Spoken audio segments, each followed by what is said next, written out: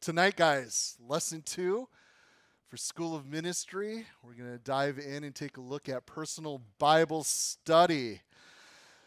Uh, first of all, uh, the homework from last week as we considered uh, prayer together. Uh, I asked you guys to go through the prayers of Paul, and it was so cool because as you guys emailed in the two that really resonated with you, and some of you shared why, it was really, really cool to hear all the different ones because there wasn't a lot of the same. Everybody had different scriptures, but there was one scripture that was a common thread with a lot of you, okay, and it was Ephesians chapter 3, verse 14 and on. And I thought it would be great tonight if we would just take a moment to read and pray this as we start our second lesson for the School of Ministry. It says this For this reason, I bow my knees to the Father of our Lord Jesus Christ, from whom the whole family in heaven and earth is named that he would grant you, according to the riches of his glory, to be strengthened with might through his Spirit in the inner man, that Christ may dwell in your hearts through faith, that you, being rooted and grounded in love, may be able to comprehend with all the saints what is the width and the length and depth and height, to know the love of Christ, which passes knowledge that you may be filled with all the fullness of God. And now to him who is able to do exceedingly, abundantly, above all we could ask or think, according to the power that works in us, to him be glory in the church by Christ Jesus to all generations, forever and ever. Amen. So I can see why that prayer resonates with us as believers. Let me tell you what, guys, if you just check this out once again, where it says to know the love of Christ, to actually pray that. Do you guys understand? We can't comprehend fully the love of God, for God is love. But to pray, God, open my eyes, open my understanding to your love, to know the love of Christ which passes knowledge, that you may be filled with all the fullness of God. To know, you guys understand that word know is an intimate word? To actually know Him in such a way, in such a depth. And that's the beauty of prayer as we considered.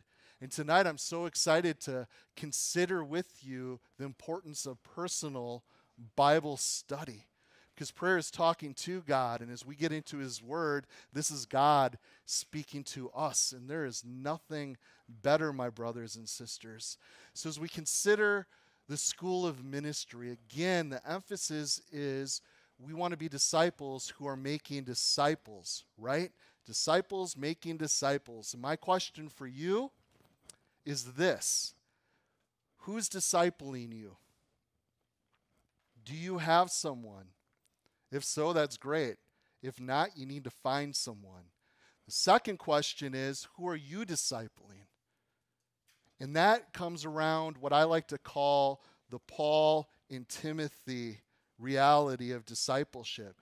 Do you guys know that Paul was a man who was pouring into young Timothy? Paul was like a father, spiritually speaking, for young Timothy.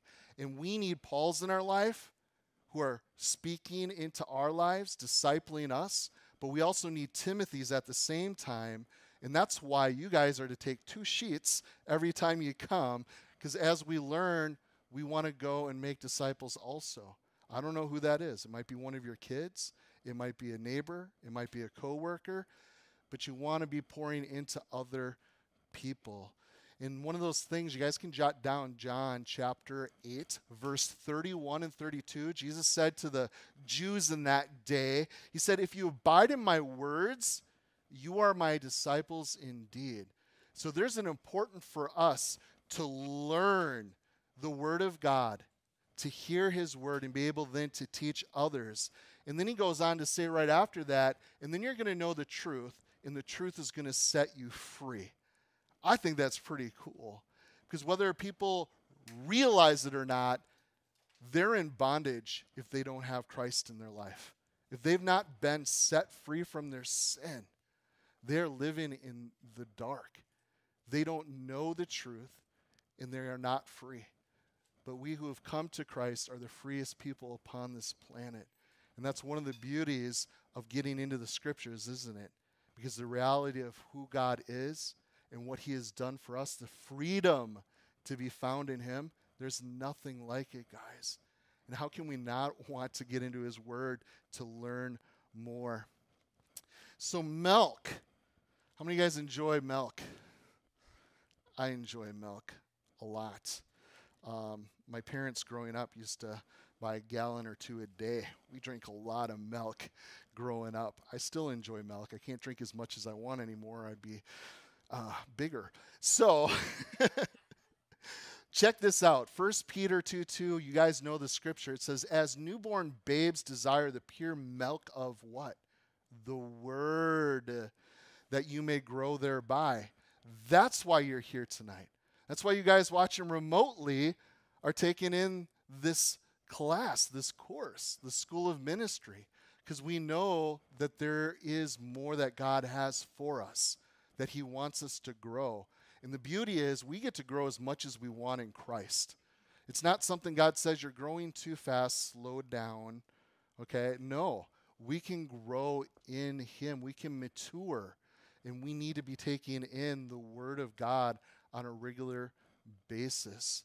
So, as newborn babes desire the pure milk of the word that you may grow thereby. And the next verse actually says, If indeed you've tasted that the Lord is gracious. How many of you guys can say amen to that? I have tasted and seen that the Lord is good and his grace does abound towards me. There is grace upon grace. And the thing that's cool with Peter at the end of his first epistle here, you can jot down chapter 3, verse 18. The last thing that he says in his letter is that we should continue to grow in the grace, in the knowledge of our Lord and Savior, Jesus Christ. Also, jot down Hebrews chapter 10, verse 7. Then Jesus, this is referring to Jesus, but he, he says, Behold, I have come in the volume of the book, the volume of it, all 66 of the books that are in this one book, the greatest book of all time, is about him, he tells us. Colossians 3:16, let the word of Christ dwell in you richly. That's an exhortation. Well, how can we let God's word actually dwell in us if we're not actually in it, receiving it ourselves? So we are told to let it dwell in us. You can jot down 1 Thessalonians 2:13 that the word of God it tells us that it effectively works in those who believe. How many of you guys when you came to Christ, you tried maybe reading the Bible before, but you came to faith. You said yes to him, and then you read his word and it was radically different than it ever was before. Right? Your spiritual eyes were opened because the word of God effectively works in those who believe. And one of my favorite scriptures is Romans chapter 10, verse 17. Faith comes by hearing, and hearing by the word of God. A lot of people say God just gives us faith. Well, God says, I don't care what people say, God says that faith comes by his word, hearing his word. That's why it's so important that we're taking in the word of God but not just for ourselves, but again, we're to go and share that with other people, to share the good news, the word of God with a world that desperately desperately needs to hear it. And one of my favorite scriptures is Hebrews chapter 11 verse 6. But without faith it's impossible to please God. But he who comes to God must believe that he is and that he is a rewarder of those who diligently seek him. Think about that, God. God will reward those who diligently seek him. Another part of your homework from last time was to memorize what? 2 Timothy 2:15. Study to show yourselves approved to God, a workman that doesn't need to be ashamed, rightly dividing the word of truth. Some of you guys might have a different translation where it says to be diligent to study. But that's on us. And God says when we diligently seek Him, if we come to Him with faith, He's going to be pleased. And if we diligently seek Him, Hebrews 11 6, He will reward us for that. So, how can we not want to give ourselves to personal Bible study? Amen? You guys ready to jump in? All right. We're going to start with a quote from this guy. His name's Landon Churchill. He says this personal Bible study brings a personal, holy fear of God, which leads to a joyful, God glorifying life that leaves holy legacy. I believe that with all my heart, guys. And I know I don't enter into a life of always glorifying God, a life that is always rejoicing in my Savior. And I can tell you what's normally going on. There's a disconnect in my personal Bible time. You can go back and track. Oh, I haven't been in the Word. I haven't been hearing from the Lord. I wish God would just speak to me. Have you ever had anybody say that to you? Or maybe you've said that. You know what a person needs to do to have God speak to them? Open his word. he is going to speak. And sometimes we get so caught up in, hey, did you hear what so and so said? Did you catch that on the news? Did you read them? Did you hear what God had to say? What he thinks? Because let me tell you what, people have opinions, and I'm all for opinions. It's great. You have right to have opinions. Doesn't mean your opinion's going to be right, but you have a right to have your opinions. But one thing I've found in my life, guys, God is always right. His opinion is actually the one that really matters and really only matters. So at the end of the day, what does God say? And that's really the question. If we have not read, how are we going to know? That's why personal Bible study is so important. So, yeah, boom, the Word of God. Did you guys know that Satan hates you and God loves you? Well, thanks, Captain. Obvious. That Satan hates you. And he hates that you are ministering in Jesus' name. He hates that. You guys can jot down Luke 10 19. Behold, I give you authority to trample on serpents and scorpions. Hey, that's cool. And over all the power of the enemy, and nothing shall by any means hurt you. I think that's pretty cool. And then we also know that God loves us. And that's one thing you are going to read as you read His Word. That is what God wants to reveal to us in a radical way. Even as we consider the scriptures as a whole, we have the Old Testament. And no one ever once in the Old Testament tells God that they love Him. The only love that we hear about is how God loves us. And then the New Testament, which was written in Greek, they didn't even have a word for that type of love. God love. Agape was something they had to come up with just to explain God's love. I think that's pretty cool, guys. You guys can jot down Joshua 1 8.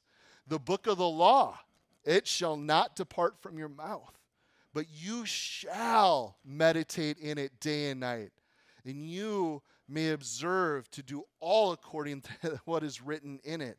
For you will make your way prosperous, and then you will have good success.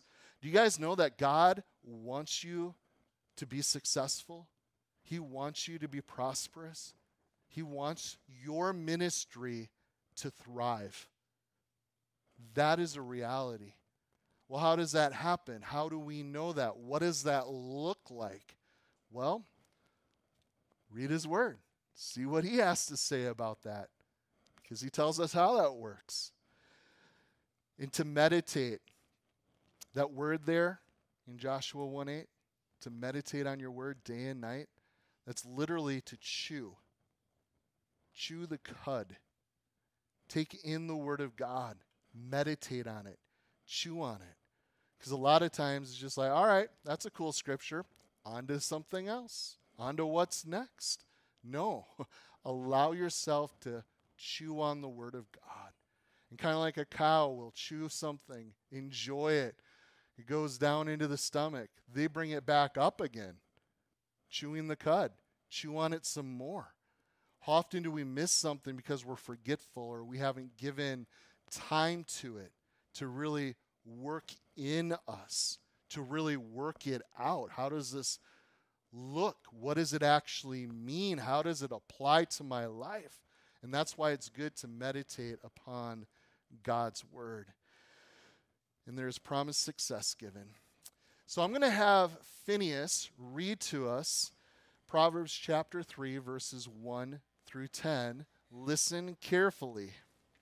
My son, do not forget my teaching, but let your heart keep my commandments for the length of the days and years of my of life, and the peace they will add to you. Let not steadfast love and faithfulness forsake you. Bind them around your neck, write them on the tablet of your heart, so you will find favor and good success in the sight of God and man. Trust the Lord with all your heart and do not lean on your own understanding. In all your ways acknowledge him, and he will make your make straight your paths. Be wise, be not wise in your own eyes. Fear the Lord and turn away from evil. It will be healing to your flesh, refreshment to your bones. Honor the Lord with wealth and first fruits of all your produce. Then your barns will be filled with plenty, and your and your vats will be bursting with wine. Thanks. Praise the Lord. All right, I listened to that a few times in preparation, and it just blessed my heart in a total different way, guys. My encouragement was going to be it doesn't matter how old you are, how long you've been in the Lord, it is good to trust in Him, not to lead on your own understanding. That there are benefits to trusting God, taking in His Word. But as I just listened to my son, this is young Finn, my father's heart was really blessed.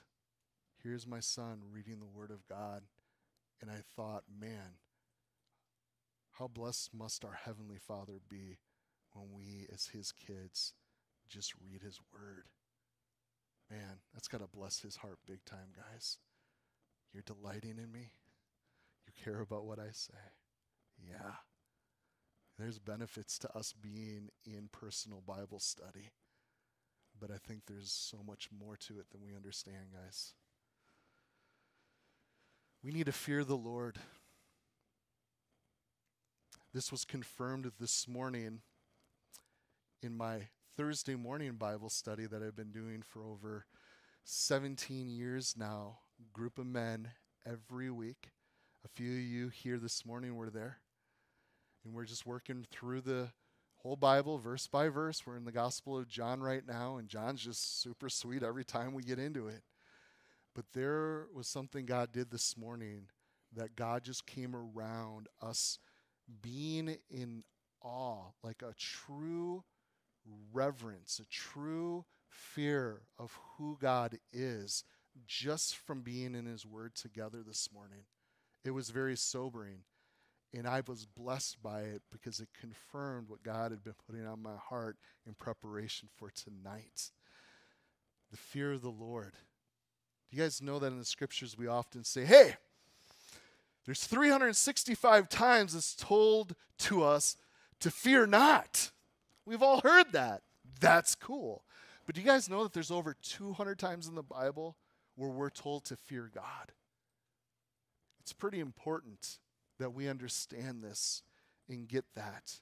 To walk as a believer in the holy fear of God, in reverence of who He is, because He is holy, holy, holy. God is completely other, guys. And to have that type of reverence for Him. And when we have right reverence for him, do you guys think you're going to listen and hear his word a little differently? It's not just like, oh, so and so is here speaking to me. Who cares? No, this is God Almighty. And I wish as believers, as the church, we would even take that a little more serious than we actually do. Say, hey, I have a guest speaker coming tonight. Michael Jordan, my favorite athlete of all time, is going to come to Kaukauna, Wisconsin, and he's going to speak. I don't think we'd have enough chairs here for everybody that would show up to hear Michael Jordan. We have the word of the living God. And people have other priorities. Many reasons why not to come and to hear the Lord. And I think it's because we lack reverence. We don't have a right awe, a right fear of God. And I think that's why God speaks so much in His Word to the fear of God. You see, people love Jesus, they don't fear God. Meditate on that for a little while, chew on that reality. We're exhorted in Scripture to be holy as He is holy. Well, how does that work? What does that look like? How are you holy, God? Well, He's revealed Himself to us. He has told us how He is completely other, how He is set apart, how He is above all other gods, how He is holy. Cleanse yourselves, we're told in Scripture, right?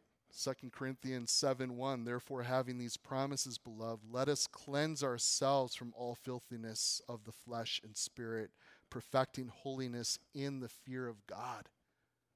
Does God want us to be cleansed, to be holy? He's made that very clear in Scripture. Well, isn't it Jesus that does that all? Yeah, He's done it, but the Scripture tells us to cleanse ourselves.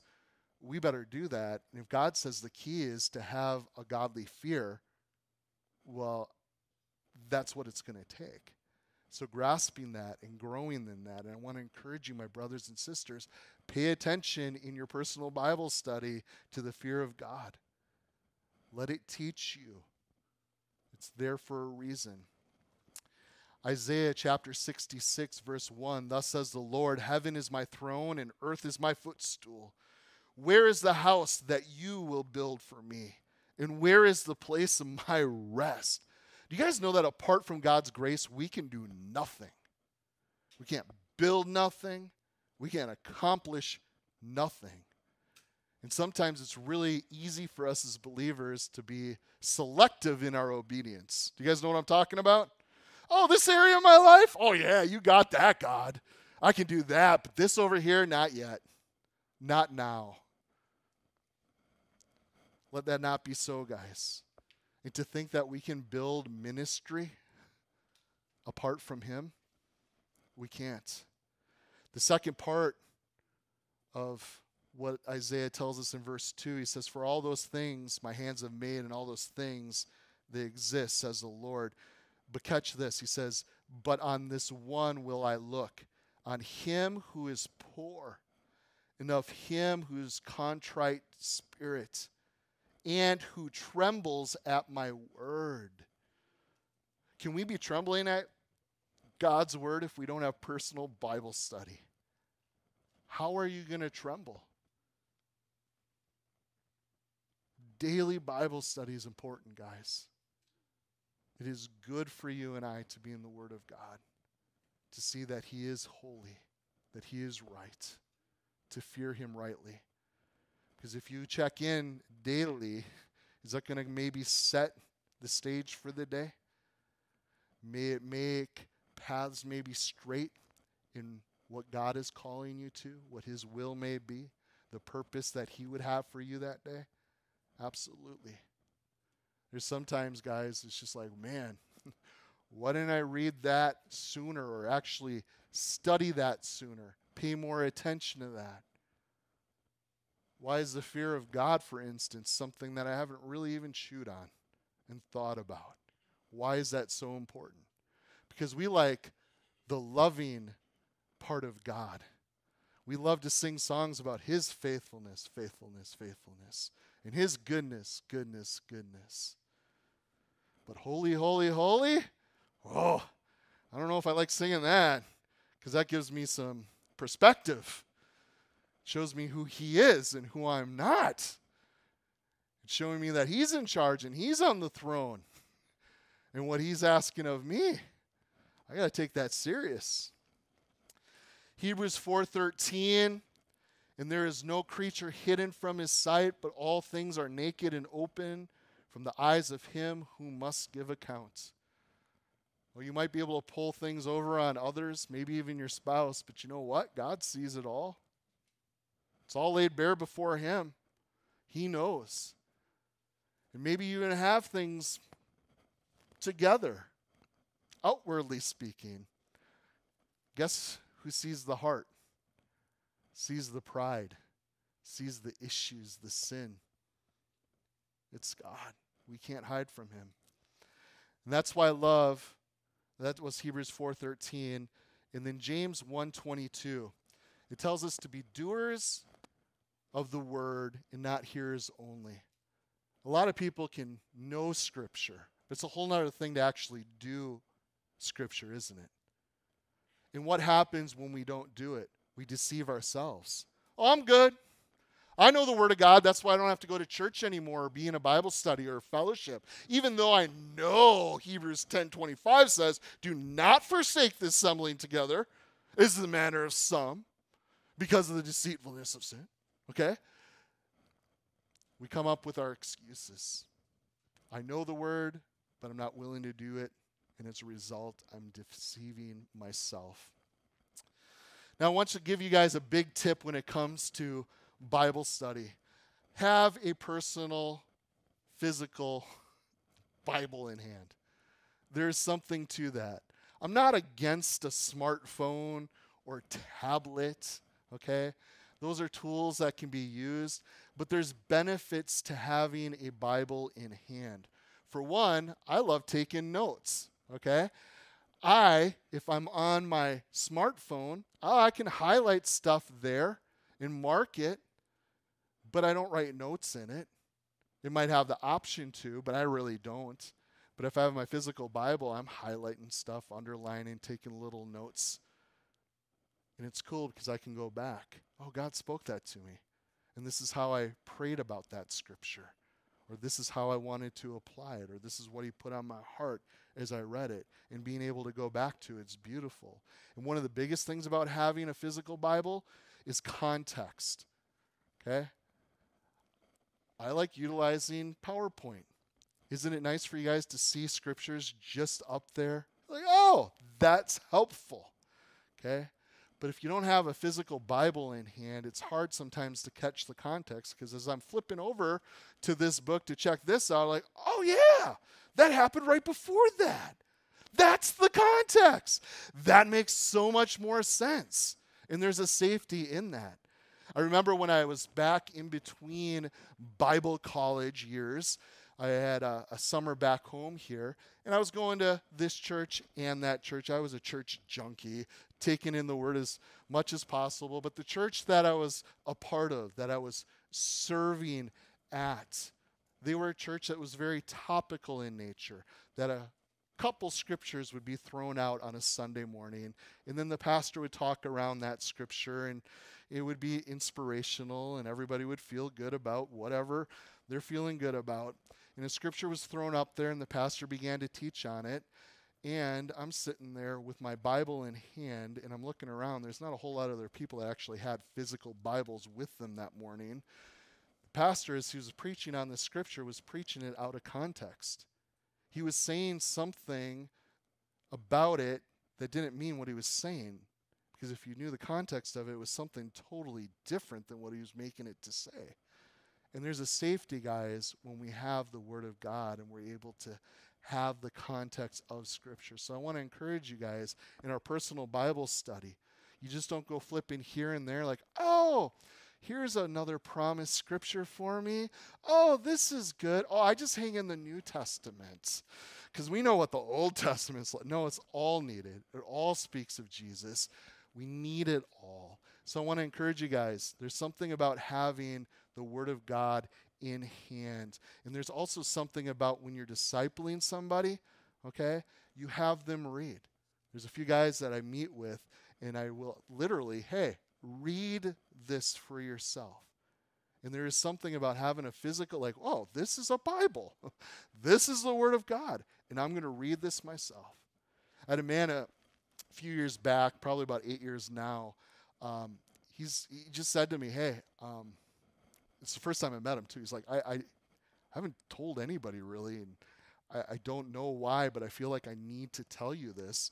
And he just shared with me that he's a homosexual. And he's like, in I've had people say this that are Christians, and I don't know. you know what I told him? Nothing. I had my Bible with me, and I opened to Romans chapter 1. I just gave it to him. I'm like, Can you just read this out loud? And as he read just the word of God, this man broke and began to weep. Just the word of God. And the questions that he had, the misinformation from other Christians who told him that that is okay in the eyes of God, understood what God actually said. And there's something, guys, when we just read the Word of God, because our thinking can get really messed up. In our religion, in the people we follow, they may be messed up. And we're saying, hey, they teach the Bible. That's what it says. No, personal Bible study. Read it for yourself. What does God actually say? And it's important, guys, that we're taking in the Word. Verse 27 up here, it says, I charge you by the Lord that this epistle be read to all the holy brethren. God wants His Word shared with all. This is something that He tells us to do. We need to be sharing the Word of God. So when we disciple, it's not getting together and enjoying coffee. No, get together. Consider what God has to say, what He has declared. Teach others what He says. And I want to encourage you too. We get to feast on the Word of God. It is a, a blessing. But you guys who know me well know that I like physical food. And I like my physical food hot. You guys know what I'm talking about? Like it comes out of the oven. It's like, hey, eat now. It is hot. It is yummy. It is fresh. A few weeks back, I was convicted because I really like my food hot. But I want to have a greater hunger for the Word of God. I want it to have place in my life. So, my family, we've been before we eat, the food will be out, just sitting there, being ready to be consumed. We'll stop. And we've been taking turns reading different passages of Scripture. And I think it's for me more than anyone, but just to say, hey, man shall not live on bread alone, but every word that proceeds from the mouth of God. Matthew 4 4. This is what's important. Even more than me enjoying my food super hot. Even if that means I have to eat it cooled down and a little cold. I want to be reminded that, hey, the Word of God is what I need above this food, physical food. You can jot down Amos chapter 8, verse 11 and 12. I'm going to read it to you. The prophet says this Behold, the days are coming, says the Lord, that I will send a famine on the land, not a famine of bread, nor of thirst for water, but the hearing of the words of the Lord. They shall wander from sea to sea and from north to east. They shall run to and fro, seeking the word of the Lord, but shall not find it. And I would say that's the case today. I share the gospel with people when I can, and I don't know how many people over the years have told me, I've never heard this before. How have you never heard this before? How many churches are just in this valley? We have over 200 churches in the valley. We're a Christian nation. This is the best selling book of all time. But there's a famine for the word today in the land. Most Christians, they won't even read the word of God. Oh, you can walk into their house and you can find all their Christian books they've bought. You can go to their fellowship groups, life groups. And there's so many today, they're not actually studying the Bible together. What are they doing? They're walking through the newest Christian book that's out. That's the reality of the church today. And even some of you, and I've had many over the years say, hey, I'm so glad that we found this church. We've been looking for a church that would just teach the Bible. It's a bummer. That should be every church, in my opinion, because that's what God has told us in His Word we t- we're to do. But it's sad. And even Bible teaching churches today. I go there because they're a Bible teaching church, but I'm hearing about politics. And I'm hearing about all the things that we're against as Christians rather than hearing about Christ because the volume of the book's about Him. And it's so easy, guys, for us to get to a place where there's a famine for the Word of God, just to be simply taught. What does it say? What does it say? Not what do I want to talk about and make it say? What does it just say? Hosea 4 6. My people are destroyed for a lack of knowledge because they have rejected knowledge. Is God trying to hide himself from us? No.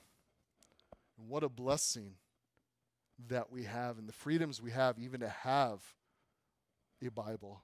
We have brothers and sisters in this world, if they were caught with this book, they could be thrown in jail for that, or maybe even killed in some countries.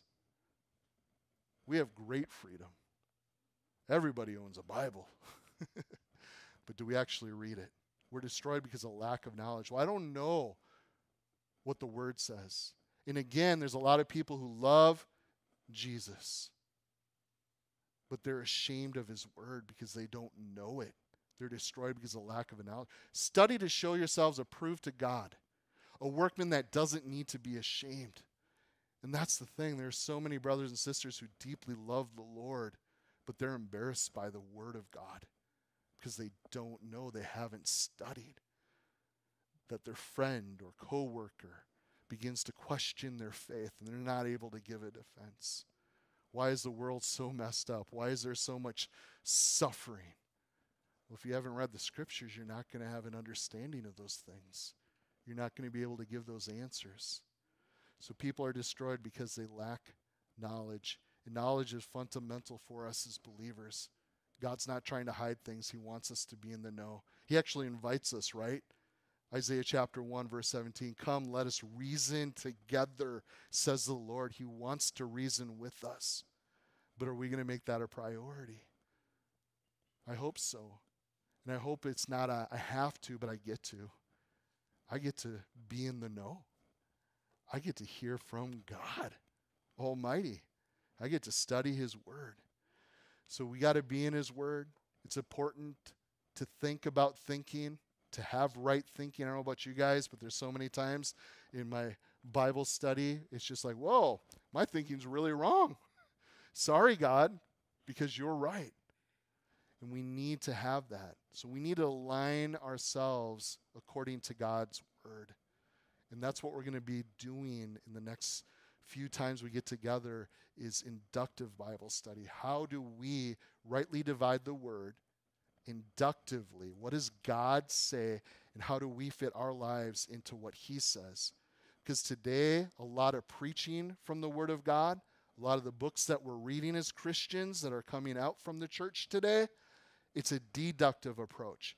How am I going to fit my wants? How am I going to make God fit into what I desire?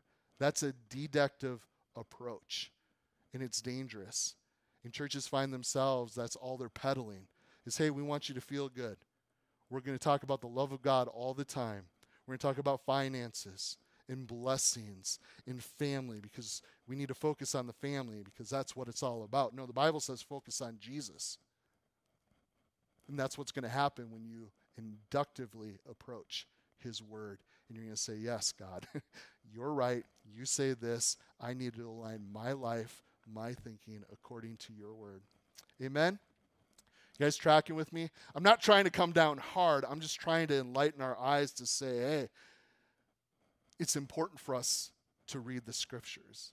It's important for us to get it right because God is right. And if we're not going to get it right, we're not going to be able to give it right.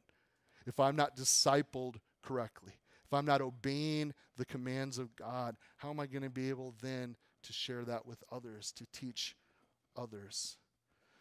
Romans 12, 1 and 2 says, I beseech you, therefore, brethren, by the mercies of God. Paul is saying, I'm begging you guys that you present your bodies as a living sacrifice, holy, acceptable to God, which is your reasonable service. This is reasonable for us as believers. And then in verse 2, he says, Don't be conformed to the world. Do You guys know the world's trying to put us into its mold, saying you have to be this way. But God says, Be transformed. And how do we do that? By the renewing of our minds, that you may prove what is the good and acceptable and perfect will of God. And again, I'm believing that's why you guys are taking this course, doing the school of ministry. You want to know what God has, what His will is, to be truly transformed. And I don't want to be like the church that really is running after the world. We're to be totally set apart. We're to be different. I grew up on cartoons. I feel so bad for kids today. They don't have Saturday morning cartoons. That's what I lived for. But one of my favorite cartoons growing up, anybody want to guess what it was? Man, you guys are smart. Transformers. Anybody know who this is? Optimus Prime, right? Now, Optimus can also be a semi truck. Kind of boring. And that's kind of how I see Christians who are just rolling with the world, who are being conformed. They're not being transformed. They're not engaging. They're not thinking. They're not allowing God to transform them. They're not taking God's word seriously. They're like trucking along with the rest of the world. That's what they're doing. They're not standing out. They're not different. But God wants us to be transformed like a gnarly, like Optimus, okay? Loaded with guns and weapons, ready to do battle. That's what God wants for you and I, guys. He wants us to be transformed. I don't know about you, but I want to engage. There's a very real battle going on today, and God's calling us to engage. In the warfare that we're fighting, guys, we're not going to understand it. We're not going to be able to engage and have any impact if we don't understand what God has to say about it. Because the weapons of this warfare, they're not carnal, they're not fleshy, they're not of worldly understanding. It's totally other. So I want to encourage you guys allow God to renew your mind and do it daily. I think about the stuff that we take in. I mean, how much we are influenced today. I mean, the reality of these smartphones in our hand to be in the know of everything going on in the world, God has not created us to know everything. He alone can handle that. I don't think we're wired to handle the way life is today. But He wants to renew our minds, have us set our minds on those things above where He is seated. And that's why John 17 17 is so important. Some of you guys seen me carry this around for many, many years. My Bible holster. I've actually had people pull pull me over and ask, "Hey, is there a gun in there?" No, there's another weapon in there. It's the Word of God. um, but I got two scriptures on there, and one of them is John 17, 17. Sanctify them in truth. Be set apart in truth. How do we do that? Well, your word is truth, Jesus tells us. That's how we're sanctified, brothers and sisters. It's in His Word. But that's boring. It's not about me. That's why I don't like your preaching, Pastor. You're always talking about God. You're preaching the Bible. I want to hear about me. Be sanctified in the truth, guys. It is about Him. And again, John 8 32, you shall know the truth, and the truth shall set you free. It's going to set you free from yourself. And this is key. 2 Timothy 3:16 All scripture is given by inspiration of God and is profitable for doctrine, for reproof, for correction and instructions in righteousness. All scriptures, guys. All 66 books. all 32,175 verses, all 810,697 words, all 3,566,480 letters are God breathed. All of them. I don't believe you. Don't take my word for it. God says all scripture is God breathed. You guys see how cool that is? And it is profitable for doctrine. It tells us what is right, for reproof or rebuke, what is not right, for correction, how to get right, and then instructions in righteousness, how to stay right. And why do we do that, guys? Because He's worthy. Guys, you can tell people the truth. You can share God's word with them, but you can't make them think. You can't make them think. I wish I could just shake people. Why don't you get it? There is no God. I believe in science. I believe in science too. It all points towards a creator. Look, observe for two seconds. Duh. Anyway, sorry. I wish I could shake people up. I wish I can make them think. But you can't. You can't make them study. They have to study for themselves. And as we disciple others, guys, we can lead them to the water of life. But they have to partake themselves. Trusting, believing. You guys know the Jews don't even use the word believe? It's trust. The scriptures, they read it in the Hebrew. We might translate it as believe, but they read it as trust. And that's what happens, guys, when we do believe. If we truly believe, we are going to trust and obey the Lord. The next verse there in 2 Timothy 3 16 goes on to say that the man of God may be complete, thoroughly equipped for every good work. How many of you guys want to be thoroughly equipped? I sure do. When things come along, every good work, I want to be ready for that. According to God and His Word, He says that His Word is going to make that possible. It's going to make that doable. And that's what I want to see for you, my brothers and sisters. I want us to be ready for every good work. And that's why I'm encouraging you guys tonight. Prayer is the key to ministry. but prayer and the Word of God, they go hand in hand, don't they? We need both. And that's why I encourage you guys. You need to be praying every day. You need to be in God's Word every day. But, Pastor, I'm reading a really good book right now. It's not as good as this book, okay? Every day we need it.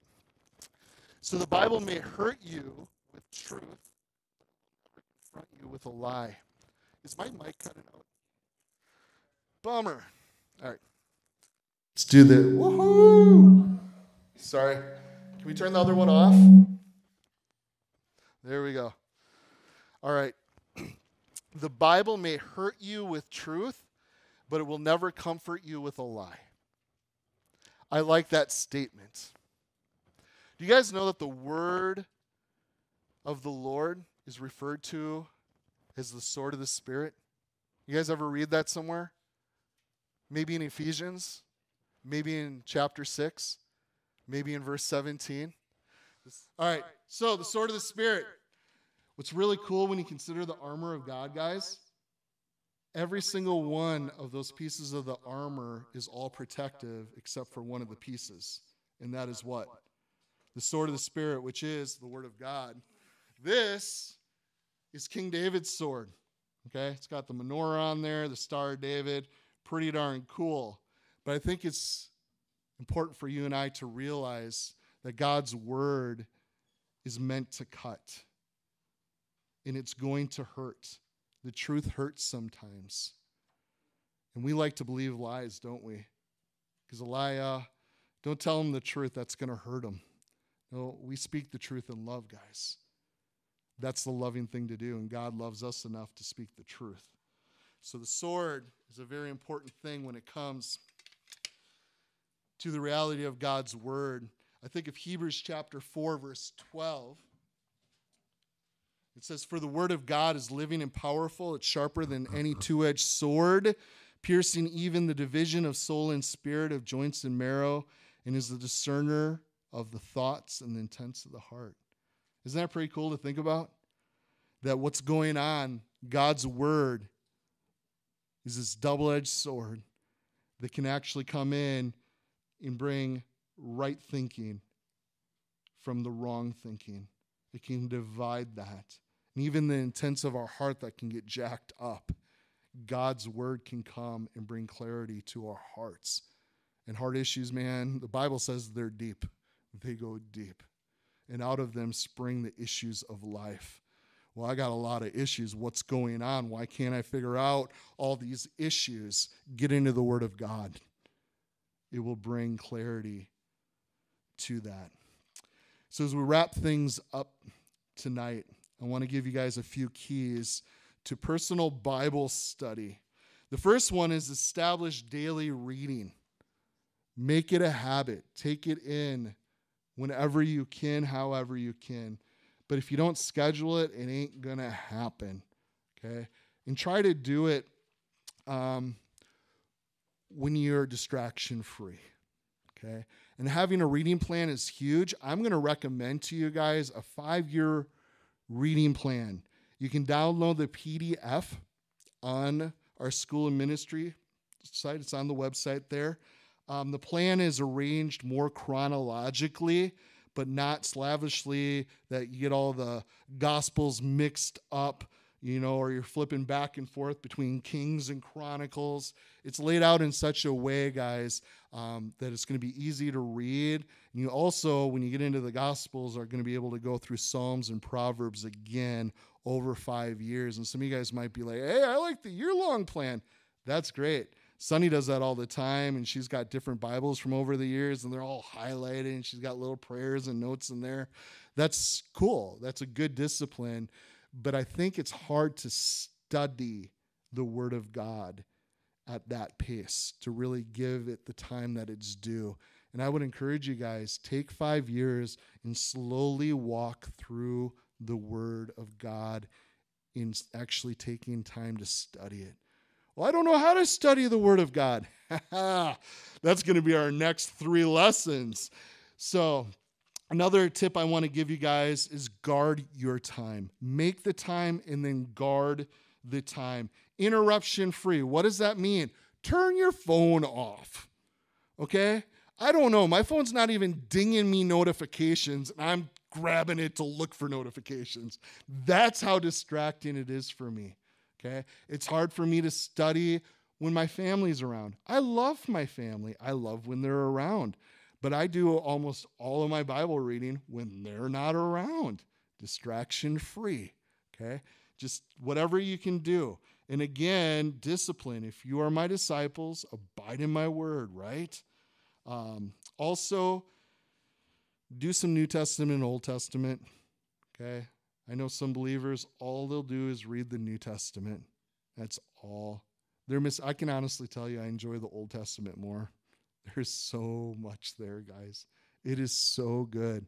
I shared this morning at study. I mean, I was something blown away. I never saw that before. Do you guys know the the the cow, the golden calf that they had made as an idol when Moses was gone, hearing from God? They actually referred to that idol as Yahweh. I had never caught that before. And there is so much more implication there in the Old Testament. I'm always catching new stuff. It's just like, you know what?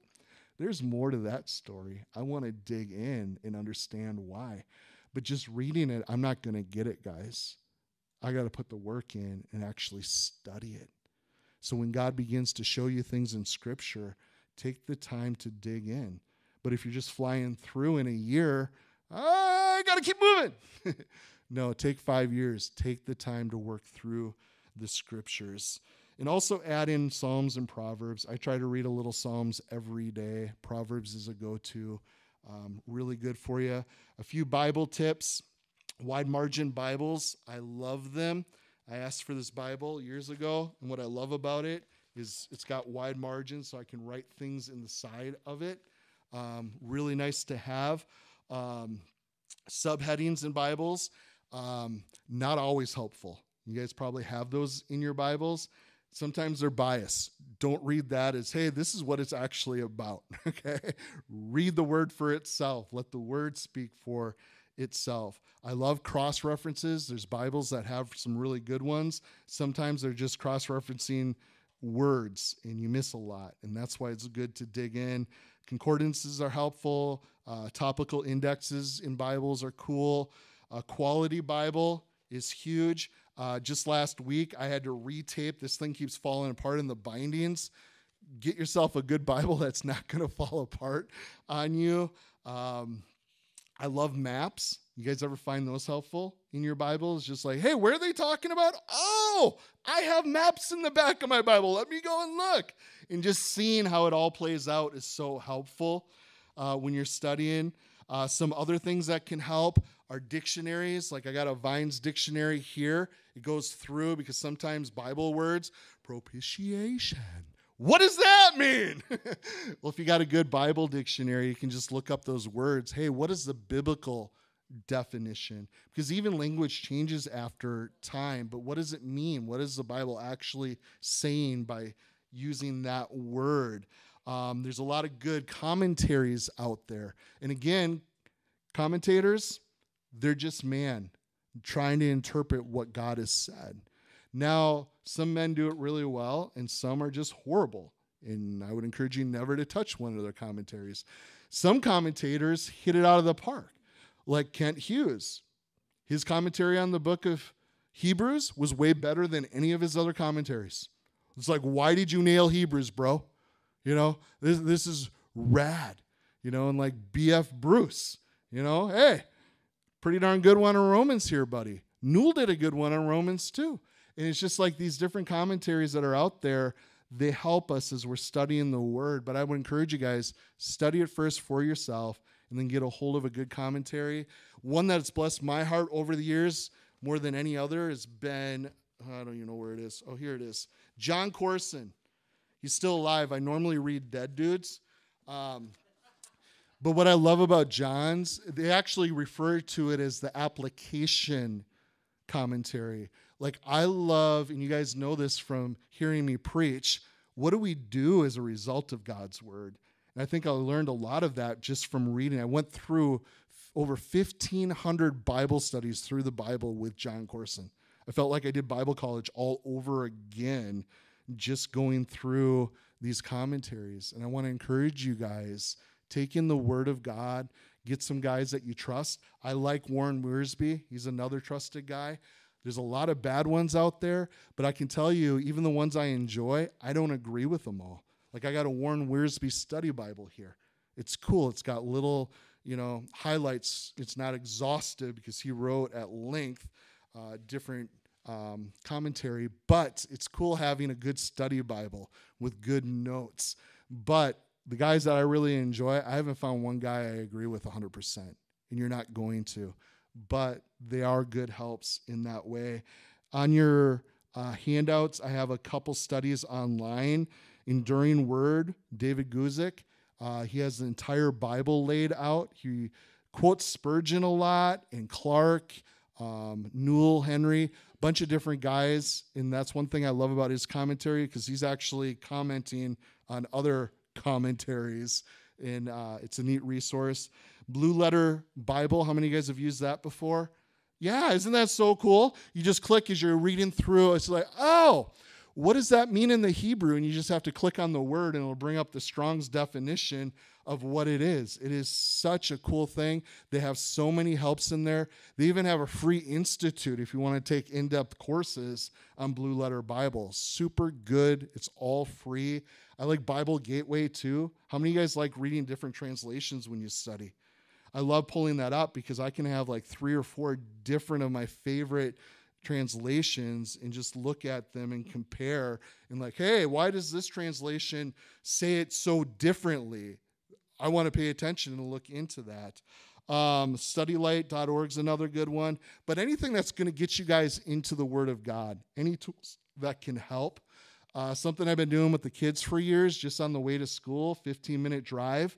Um, we just listen to audio Bible. You guys ever do that? I just downloaded an app, um, trial right now, two weeks. It's called Dwell. It's so cool. You can pick all these different translations in different uh, accents. Like I'm listening to a British dude right now, his accent. And then you can pick background. They have like white noise or waterfalls. I like the ambient noise in the background. But it's so cool. I'm cruising around in my car and just being showered with the word of God. And I'm like, this is so cool. You know, so any any opportunity you guys can get just to be in the word, do it. All right, one last scripture I want to look at with you guys before we open up our discussion time. Uh oh. Back to Psalm 112, verses 1 through 3. It says here, Praise the Lord. Do you guys know how important it is to praise the Lord, guys? It puts everything into perspective. Last week, I encouraged you guys before your prayer time, pray in and thank God for his awesomeness, just how magnificent he is. Praise him in your prayer. And that's the same thing in our life. Some of us struggle with anxieties and depression. You know what the key is to depression, guys? Anyone want to guess? Praise the Lord. Okay? Look to Him. Get your eyes off yourself. Get your eyes on Him. And then it says blessed. You guys know the word blessed in the Bible means happy. Okay? Happy is the man who what? Fears the Lord. You want to be blessed in life? Learn to fear the Lord rightly. And what does it tell us here? who delights greatly in what? His commandments. That's the word, guys. It's the word of God. Delight in the word of God. And how do we do that? Greatly, greatly delight. Personal Bible study shouldn't be a drag. It should be a delight. Like, whoa, this is good, God. Okay. Yeah, Leviticus gets a little boring, but even Leviticus you can delight in if you really slow down and take the time. There is some really cool stuff about who God is and why sacrifice is so important. So, as a result, if we do this, guys, if we're actually fearing God here, okay, and delighting greatly in his commandments, if we do that, what's going to happen? Well, we're told here that his descendants will be mighty on the earth. That generation, okay, is going to be upright. They're going to be blessed also. Don't you want that for our kids? I'm looking at this next generation, guys, my heart's breaking. We're in rebellion to God.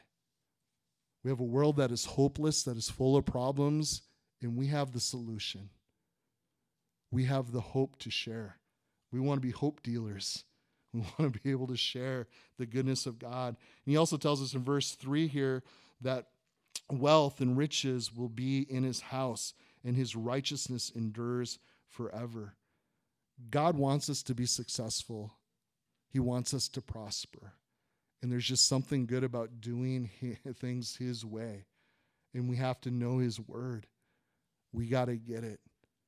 We got to fear Him and greatly rejoice in His commands. And there's a lot of blessings to be had. So, one last quote by Charles Spurgeon A Bible that's falling apart usually belongs to someone who isn't. I like that one. I like that one. And it's true, guys. It's true. Get into the Word of God. All right, our homework it's going to be reading Joshua chapter 1, verses 1 through 9. And I want you guys to record only observations. So on the sheet, I want you to write down and ask yourself questions like who, what, when, where, how. Retell the event, find the relationship between the characters in the passage. Try to figure out the emotions that are going on. What are you observing there? Okay, if you put yourself in that situation, in their shoes, what would that look like? What would you see? What would you feel? What would you think? You guys get observation, and that's what we're going to look at next week as we start inductive Bible study.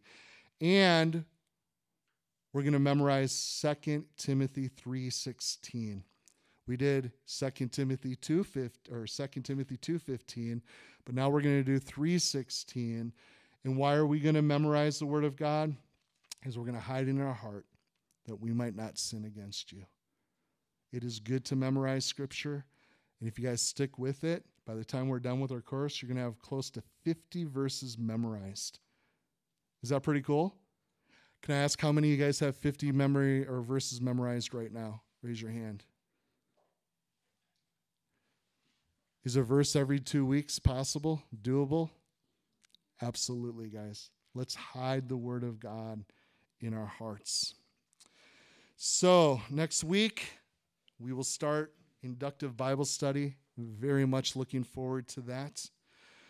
So, I want to open up our discussion time by asking the question How have you experienced God's Word personally?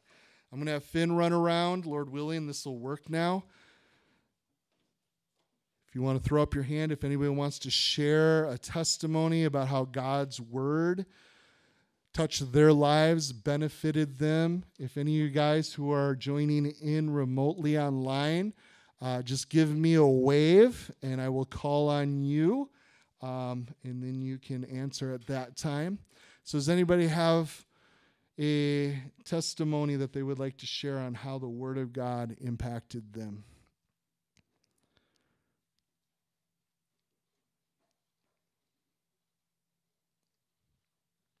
All right, brother. This is Brother Bruce for you guys who are online. Strangely enough, I had a situation where um, I have a T-shirt of it that he prescribed me to come and set the captives free. Amen. There's a long backstory to that, but we don't have that much time. but the Lord set me free as, as a well, one of the things he came to set free was me from me. so that's what the Word of God will do. Yep. Set the prisoner free. Yep. Anyone else?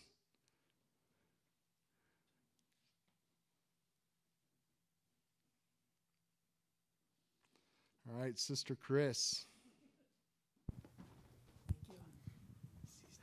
This is kind of, it was actually a hymn and it had the 23rd Psalm in it. we were learning it when I was in kindergarten, so I was either four or five years old. And our teacher was talking about Jesus being our good shepherd. And she was describing him in such wonderful words. And I just knew that I was loved. And I had never felt that before in my life, such a deep love that she described, you know, a little kindergarten teacher. And um, something jumped in my heart.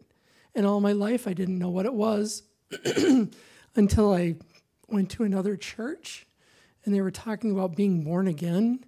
And they were like, you know, talking about when God first comes into, or the Holy Spirit comes into your heart. And it just dawned on me that as a little child in kindergarten, my teacher, through the Word of God, it, it changed my heart at that time already. And I didn't realize, you know, how really what a big deal that was. But it truly is. He's so good. Praise the Lord. I love how often, like, the word will speak into a specific situation or questions that I have currently. Like, it happens sometimes daily. I mean, you know, like our Thursday morning Bible study, it's almost weekly that I'm wrestling with something or God, like this morning, you know like i actually this was tonight this was my third different study for tonight eh, we, we, we went in many different directions but coming around the fear of god i felt like that was a word from the lord and then this morning god just confirmed that just through the reading of his word today i'm just like yeah and that happens on a you know a regular basis and i think that's why daily bible study is so good and it's not coincidence okay yeah if that just happened once in a while maybe but it happens all the time. Those things can't line up. It's just crazy. All right. Any others? All right. Going to Sunny, who's one of my favorites. Um, so I think that's a tough question just because it, in, like you were saying, it impacts us daily. And I can think of a bunch of examples where God used it to speak something specific to transform my heart from thinking one way to another way to freeing me from anxiety. Um, but one of the stories in the Bible that encourages my heart when I'm reading God's word and I it feels dry when I feel like it's not speaking to me or maybe I'm in Leviticus or like one of those fun books. Um, but just the story, I think it's in Kings or Chronicles when um, the Israelites um, were fighting against one of their enemies and they had run out of water and God told them to dig trenches. And I believe this story actually came from Jon Courson's application commentary. So I encourage those of you who haven't used it, you should read it. Um, but just thinking about the dryness of digging those ditches and feeling like, why are we digging ditches? I'm thirsty, I'm dry. Um, but then God filled those and gave them the water that they needed. So oh, sometimes it's just digging in, even when you feel dry, and trusting that God's going to fill. So, Thank you. But it's one of those things, guys, it's so good to allow the Word of God to be speaking on a regular basis because there are going to be things in life where we have big questions or we may be in a crisis or a circumstance that just seems overwhelming. And there's just something that God does because His Word is spirit, it is supernatural, and it does things in us who are spiritually born again and alive that will do a work in our life that can't be explained. And it's far beyond anything that this world could offer or do in those situations. But I really want to encourage you guys allow the Word of God to work again first or sorry james 122 be hearers of god's word okay? Um, but also be doers of it. The scripture right before it verse 21 tells us this therefore lay aside all filthiness and overflow of wickedness. Guys we're always consuming something. We can be consuming junk but if we say no to it like god tells us to do it and then he goes on to say and receive with meekness the implanted word which saves your soul. Guys, so much of what we consume in this life, there's good things, but most things, they're just ruining us. They're killing us. They're ripping us off. And that's why God says, hey, stop consuming that. Receive my word, my implanted word. It's going to save you. And there's so many people that are just a wreck. They're being tossed to and fro. This world is getting the best of them, and that's not what God has. He wants to set us free. He has truth that will do that. So I encourage you guys, allow God's word to do that great work in our lives. All right. Um, any questions that you guys have? We're going to be covering a lot of ground in the next few lessons when it comes to Bible studies specifically. But I really want to encourage you guys personal Bible study is where it's at. Okay. And if you guys aren't doing it, start doing it. If you need more tips, uh, grab a brother or sister, talk to me, somebody. I know uh, many of you guys personally, you share with me all the time uh, things that you're learning, scripture. I know that you're studying. Just pick each other's brains. Like, hey, how do you study? You know, what are some tips you have? What are you learning? And I think one of the biggest things that we can do when it comes to uh, the body of Christ and doing life together is sharing what we're learning. Don't keep it to yourself. Pass it along. There's good things. And there's a privilege that God's given us and entrusted us with His Word. So I want you guys to be uh, be bold with it. Share with people, even unbelievers, because people care about us. Hey, how you doing? What you been up to? You know what? Been learning some really cool stuff. Been studying the Bible, and God's teaching me this. It's that simple. And just share with them. What are they going to do with that? You know, maybe they'll actually start caring and start reading themselves. Who knows? Does that sound good? Awesome. Praise God. Yeah, Finn. Are, are we going to do any studies on discipling other people? Yes. and that is the hope. That's a good question. Because the hope is, as we're going through this, like last time we took a lot in on prayer, and it's been so cool. I have had many of you, not just a few, many of you went to town and actually read your books. Some of you guys jumped on E.M. Bounds and were just blown away by that. Some of you guys, several of you, took on Andrew Murray's book and already read it. And you're being blessed. You're being stirred up in it. Even Larry told me this morning, I don't read books, but I read that. It was so good. you know? He reads the Bible every day, but he's not a reader. But there's blessings and there are things. And I want to encourage you guys as we're learning here, and that's why I want you to take two sheets, pass it on, work with them. And the reality of discipleship, everything that we're going to be doing over the next two years is going to come around disciple making. And two of the things we've just covered prayer and the word that is foundational to our walks with Jesus, truly being discipled and discipled well. So, it will be two areas that we revisit quite a bit in studying the word of god. It is something as we just memorize 2 timothy 2.15 study to show yourselves approved to god. A workman that doesn't need to be ashamed work needs to be done rightly dividing the word. And again guys we want to get god's word right. We don't want to misrepresent him. God speaks very clearly. What he says is what he means and what he means is what he says and this is what we want to do. And that's what God has told us go into all the world and make disciples. And how do we do that? Teaching them all that I have commanded, all of it. So we're going to be doing a lot on discipleship. Cool? Let's stand to our feet. We're going to sing together, and you guys will be dismissed when we're done singing.